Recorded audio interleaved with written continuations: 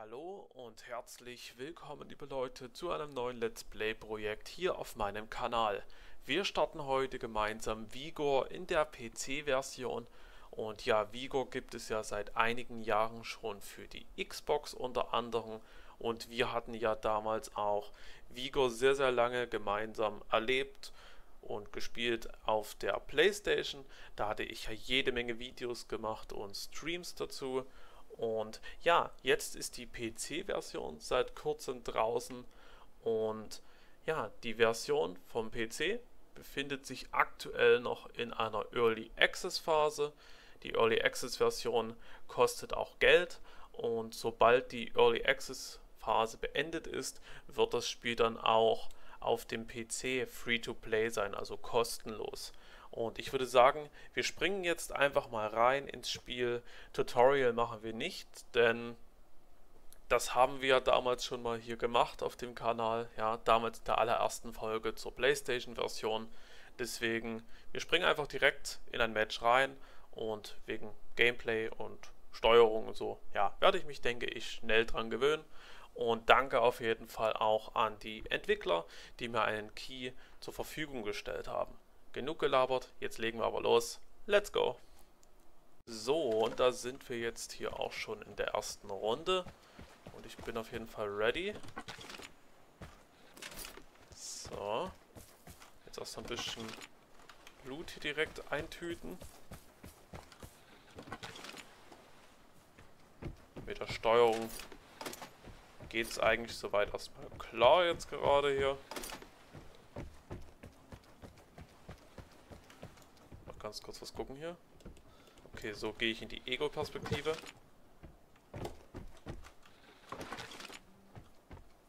Sehr gut. Ja, könnte nur sein, dass ich dann vielleicht ein paar Probleme habe im Kampf. Mal sehen.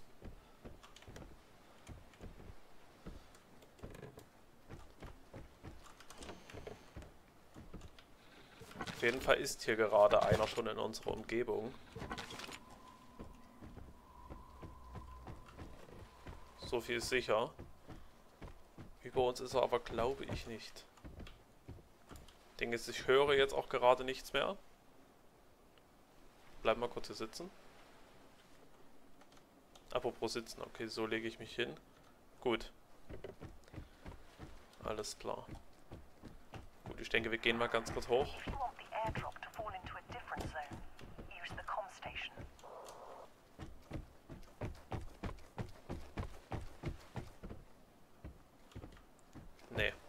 ist sicher.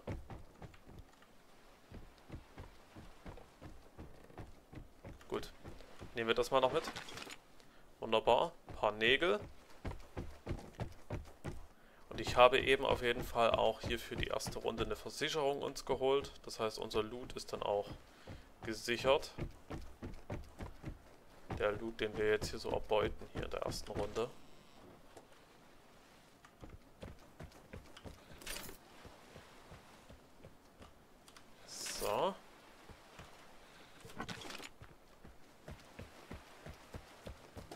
Schön wäre es natürlich, wenn wir eine schöne volle Tasche hinbekommen würden. Oh! Hilfe! Uh, ouch, ouch, ouch. Er kommt ja her. Da hinten ist er. Ah, schade. Da hat er mich. Ja. Schade. Ist auch nicht schlimm. Loot ist immerhin gesichert. Und ja, ich muss auch ganz klar sagen, ich glaube, das ist jetzt auch überhaupt mein erstes Spiel auf dem PC, wo ich so PvP auch habe. Bin mir jetzt gerade gar nicht so sicher. Weil ich spiele ja erst seit ein paar Monaten PC, ja, aber hatte ja bisher nur so Survival-Sachen gespielt, größtenteils. Und das ist jetzt, glaube ich, eigentlich, ja, mit so das erste PvP-Spiel hier. Überhaupt. Gut, gehen wir mal zum Unterschlupf zurück. Stufenaufstieg hat es auf jeden Fall fast gegeben. Ja, und schön auf jeden Fall, dass erstmal ein bisschen Beute jetzt hier gesichert ist. Auf jeden Fall muss ich sagen, das Ganze fühlt sich schon mal ganz gut an, so vom Spielgefühl her. Ja. So, gucken wir mal ganz kurz hier rein. Hier haben wir jetzt Herausforderungen. Was ist denn hier? erste Kiste öffnen, okay. Gut. Mein erster Abwurf. Machen wir dann mal auf. Sehr schön, was haben wir da drin? Schön, Antibiotika. Das ist nicht verkehrt. Jetzt habe ich hier die Belohnung bekommen. fast Stufe 2. So, hier soll ich erstmal in den Story-Herausforderungen jetzt vorankommen, damit ich dann die saisonalen bekomme, alles klar. Alles klar, gut. Gehen wir mal ganz kurz hier drüben hin. Mal kurz was gucken. Habe ich eigentlich schon kosmetische Sachen? Ganz kurz gucken. Okay. Ja, und die anderen Spielmodis hier, die bekommen wir ja dann erst, wenn wir drei Begegnungen insgesamt gemacht haben. Ja, und diese Karte hier kenne ich noch gar nicht. Myren. Oder wie die auch ausgesprochen wird. Und kleine Info am Rande. Ich habe auch vor, dieses Spiel eventuell auch mit, ja, der Community in Zukunft zu spielen hier. Also da könnt ihr euch auch drauf freuen. Gut, starten wir jetzt nochmal eine Runde, würde ich sagen. Let's go. Was auch zum Beispiel neu ist, sind diese Booster-Tickets. Die kenne ich auch noch gar nicht. Genauso wie diese hier.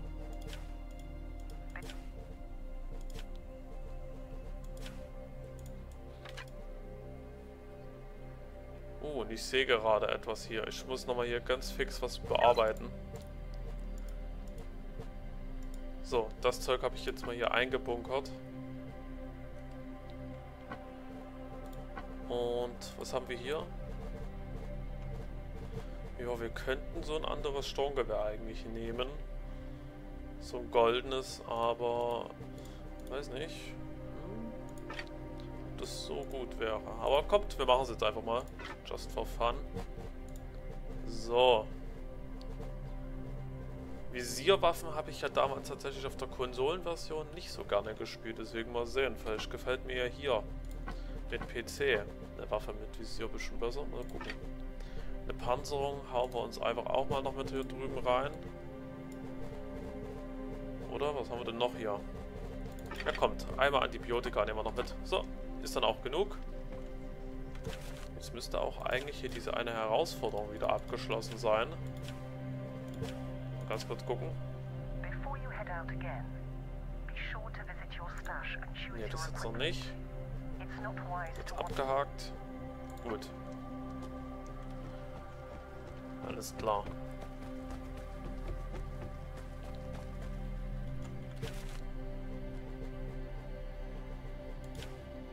Mal sehen, ob wann dann unser Basisbau hier auch so richtig beginnen tut.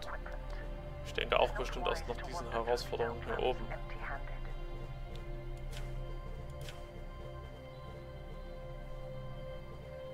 Auf jeden Fall finde ich es toll, dass wir so viele Kronen jetzt gerade hier am Anfang haben. Das sieht wirklich richtig lecker aus. Das muss ich da einfach mal an der Stelle ganz klar sagen.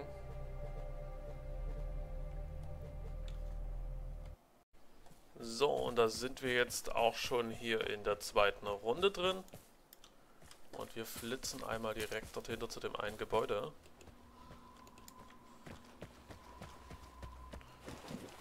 Okay, und einer hat hier einen Signaldetektor genutzt. Das gefällt mir gar nicht. Hoffen wir mal, dass dieser jemand nicht hier in unserer Umgebung ist. Gucken mal kurz hier drüben so. Da sehe ich nichts. Ja, und ich muss dringend noch gucken, wie das geht hier mit der Schulter. So wechseln. Mit dieser Perspektive da. Also Jetzt hier habe ich ja gerade das so mit der rechten Hand die Waffe.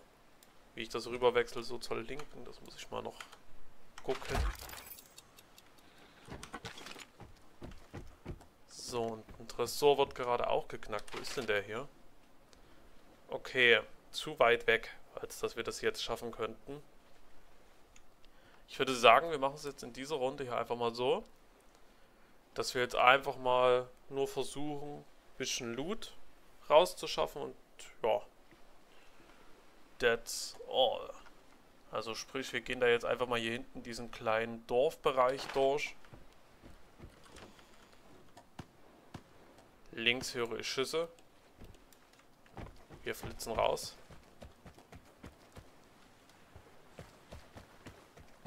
Oh, da wird heftig gerade geschossen. Muss auch sagen, ich bin gerade nicht so der größte Fan von der Karte, die wir hier gerade haben. Diese Karte hier mochte ich auch damals schon nie.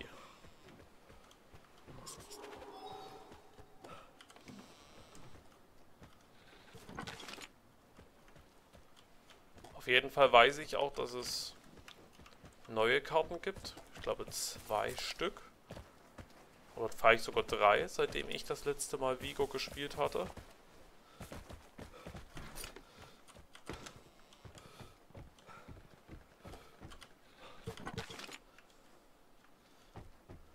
Weil soweit ich weiß, sind auf jeden Fall hier in der PC-Version auch alle, die jetzt so aktuell auch in der Konsolenversion sind.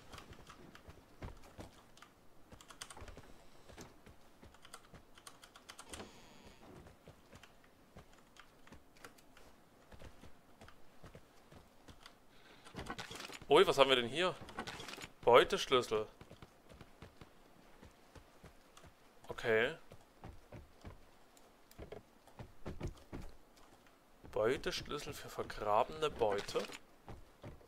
Okay, Moment. Das muss ich nochmal ganz kurz mir hier angucken. Okay, das ist auch neu. Ja. Hier, mit dieser vergrabenen Beute, wo du dann so einen Schlüssel brauchst. Ja, das gab es damals noch nicht.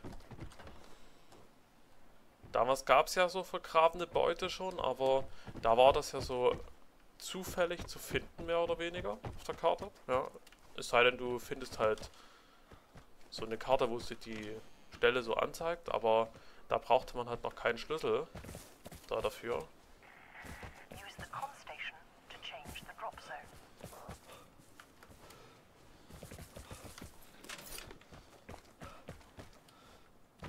Los, wir looten mal den Wagen hier. Ui, eine Bärenfalle haben wir hier gerade gefunden. Sehr schön. Hier ist noch ein bisschen Benzin. Ja, die gute Brühe kann auch immer mit.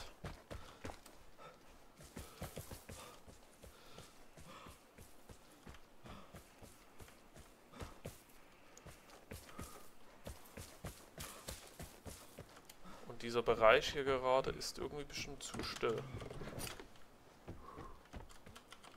Vor allem wirkt es hier halt auch alles so, als ob hier wirklich noch gar keiner gelootet hat.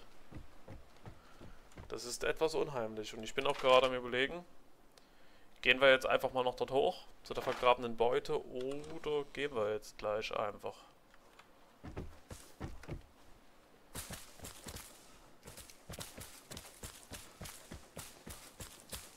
Meine, am besten wäre es eigentlich, wenn wir das jetzt erstmal hier abschließen mit diesen drei Begegnungen und so.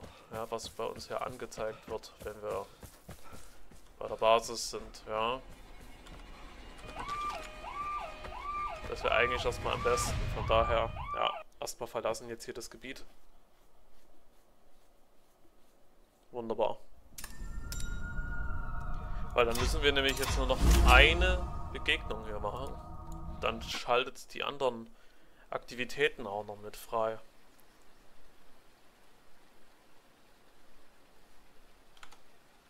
So, was haben wir hier? Harte Arbeit zahlt sich aus. Jetzt ist es Zeit, deine Wohnqualität ein wenig zu verbessern. Sehr schön, jetzt können wir endlich bauen. Okay, naja, und nach der nächsten Runde können wir dann auch die Sachen hier spielen. So, nehmen wir mal hier die Belohnung wieder mit. Und jetzt bauen wir erstmal was. Okay, geht nur das eine hier erstmal. Alles klar. Wie lange dauert das? 30 Sekunden, oder? Ja, die 30 Sekunden können wir warten. Kann ich das nächste danach bauen direkt? Ja, das geht dann direkt auch schon. Wunderbar. will mal kurz hier was gucken.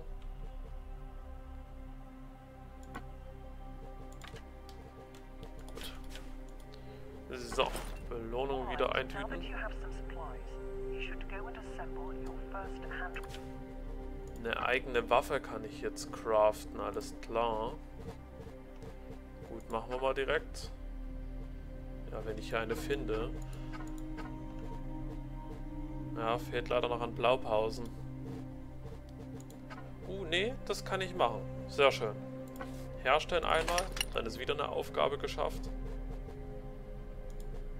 Wunderbar. Das hier verstauen.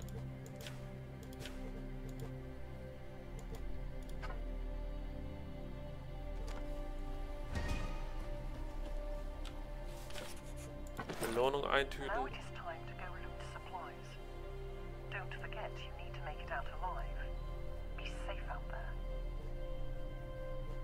Jawoll. Wieder ein Stufenaufstieg. Schöne Sache.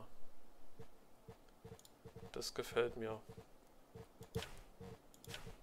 Mal noch hier drüben jetzt nochmal direkt ins Menü. Unterschlupf, Umgebung. Jawohl, aufgestiegen. Jawohl, so muss das.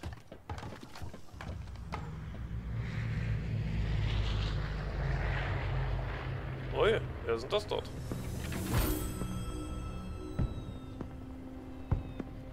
Okay.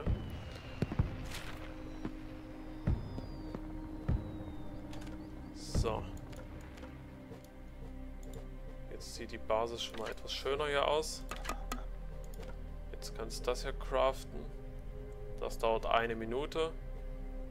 Und weiteres kann ich dann erstmal nicht bauen. Ja, da brauche ich dann jetzt gleich erstmal ein bisschen Glas.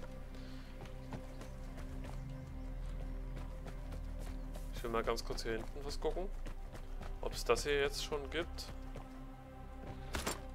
Ja, das gibt es jetzt schon. Mit dem Spenden, alles klar. Ja, nur haben wir natürlich jetzt noch nicht genügend Zeug. Ui, und es ist gerade die Karte Fiel Kanten drin. Das ist sehr cool.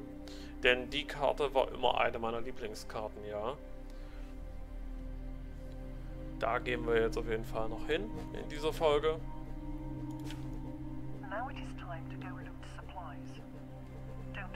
Dann haben wir das hier geschafft, ja. Dann können wir diese Sachen auch noch mit auswählen. Ich will auf jeden Fall dann auch bei Zeiten hier einen Skin wechseln, ja.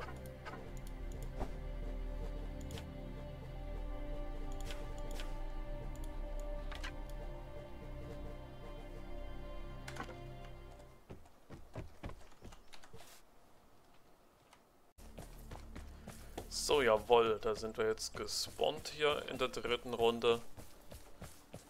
Und jetzt geht es direkt mal hier hoch zu dem Haley. Da gab es ja meistens Waffenteile drin. Jawohl. Ja, mit dem Zeug. Ui, kleine graue Waffen sind ja auch drin. Sehr schön. Okay, und jetzt schnell hier runter. Denn hier oben fühle ich mich nicht ganz so sicher. Gucken mal ganz fix hier unten. Jawohl, da sehe ich etwas, was noch ganz wichtig wird später.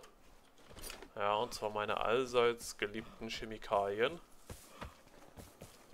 Schön wäre es, wenn hier nochmal Dünger, jawohl. Komm her.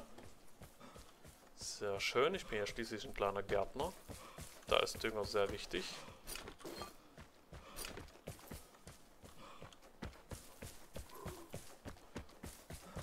Im Übrigen, Leute, ich packe euch mal einen Link zu meinem Twitch-Account in die Kommentare, aber auch in die Beschreibung. Da könnt ihr mir gerne folgen. Da werde ich jetzt immer mal wieder spontan, denke ich, live gehen. Wenn dann so gegen Abend hin, ja.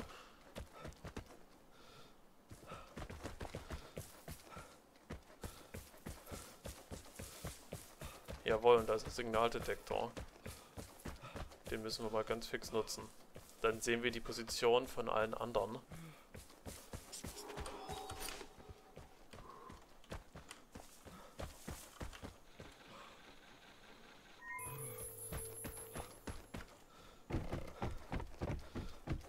Komm schon.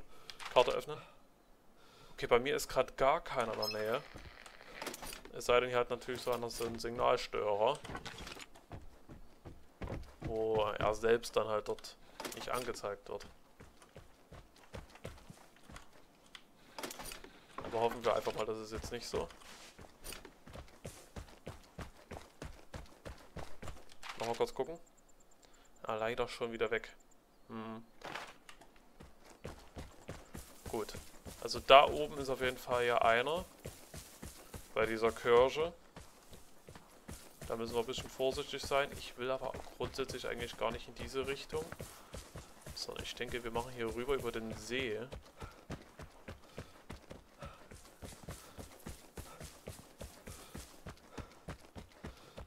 Wir müssen halt nur aufpassen jetzt hier.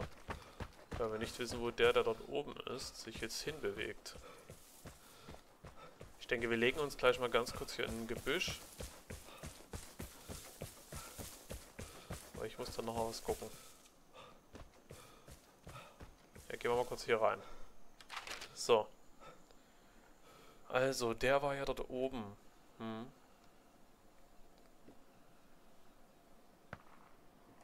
Ja, und irgendwie... Hier ist was ein kleines bisschen seltsam. Ja, das Bewegen des Cursors hier in dieser Karte. Ist etwas seltsam so vom Gefühl her. Wie ich finde. Hm. Ich muss mal ganz kurz gucken. Ja, meine Beute. Also da muss auf jeden Fall mal kurz was raus. Hm, und den Schlüssel würde ich eigentlich dann gar nicht gleich nehmen. Müssten halt uns wenn da hochtrauen einmal.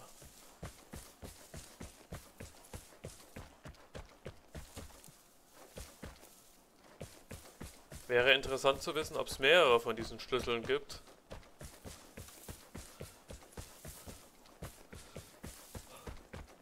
Oder nur einen immer. Ich denke eigentlich, dass es nur einen immer gibt. Aber wäre gut, das rauszufinden. Deswegen, wenn das jemand weiß von euch, gerne in die Kommentare hauen. Und sowieso, lasst mich auch gerne mal wissen, Spielt ihr Vigor noch?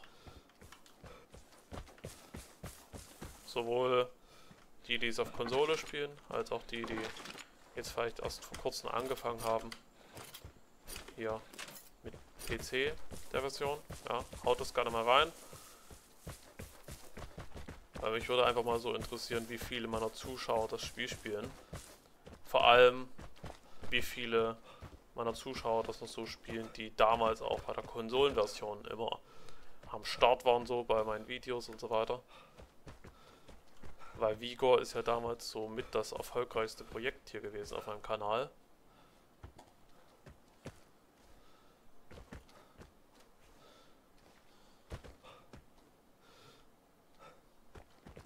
Deswegen interessiert mich das gerade.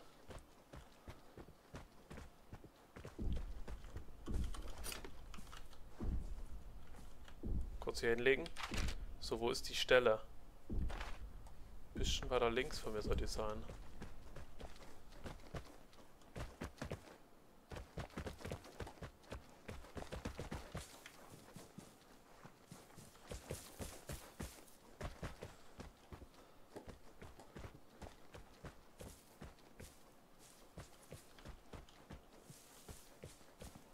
Super, ich finde die Stelle hier gerade nicht.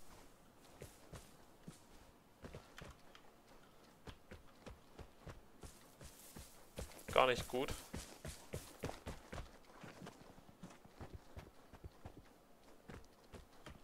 Vielleicht ist es auch ein bisschen weiter unten. Obwohl, ich denke, das eine Grab hier vielleicht. Ja. Let's go. Graben, graben, graben.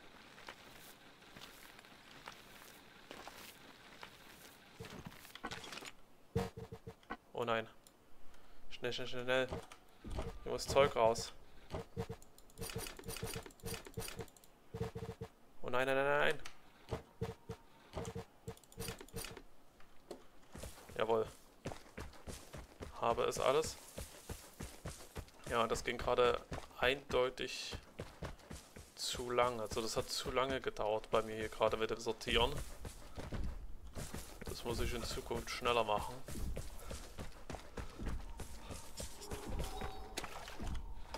Das hätte mir nämlich jetzt gerade eben schon das Leben kosten können.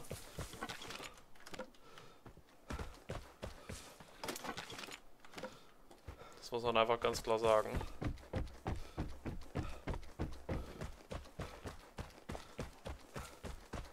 Auf jeden Fall haben wir jetzt eine volle Tasche. Baumaterialien haben wir jetzt nicht sonderlich viele ja, gefunden, sondern was wir halt jetzt gerade viel dabei haben, hier sind so Bauteile für Waffen, Zubehör und so weiter.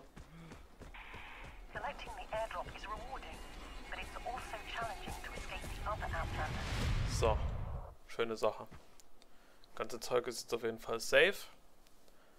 Die drei Begegnungen, die wir ja abschließen sollten, sind dann jetzt auch endlich erledigt. Stufe 5 auch erreicht. Wunderbar. So muss das. So, was haben wir hier? Mhm, mhm, Glückwunsch, okay. Gut. Was haben wir hier für eine Kiste? Ah, okay. Der Battle Pass ist jetzt auch da. Auf Premium könnten wir das Ganze upgraden eigentlich auch.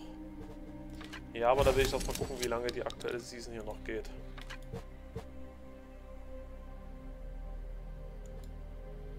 Okay, ja, ist schon noch ein bisschen Zeit. Wie viele Stufen gab es hier? 50, okay. Wäre machbar.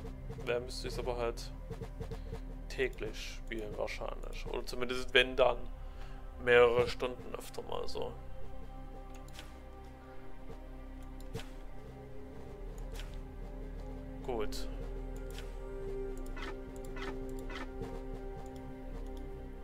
Fall habe ich es vor, ja, öfter zu bringen, die PC-Version.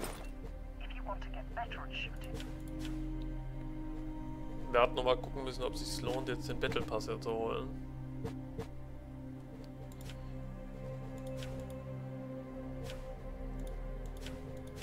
Ich denke aber, wir werden den nehmen. Ich werde auch mal noch zwei, drei Folgen abwarten. So, das hier tun wir einmal verbessern.